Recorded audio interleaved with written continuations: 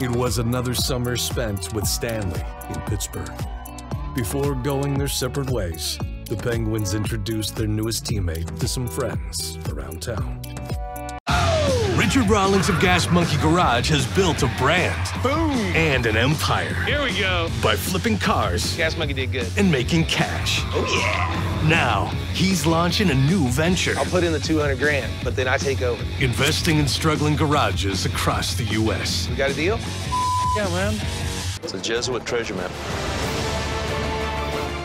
They've headed deeper into territory where few have dared to go. You could definitely disappear and never be heard from again in this place. The explorers have uncovered a critical clue that might lead them to the treasure's resting place. That's got to be the stone. But a single misstep in this uncharted wilderness might also seal their fate. Brad! You all right? Finding a life off the grid meant moving the family to a place where the climate pushes the limits of human tolerance. This endless, expansive wilderness they call home is known as the Northern Territory.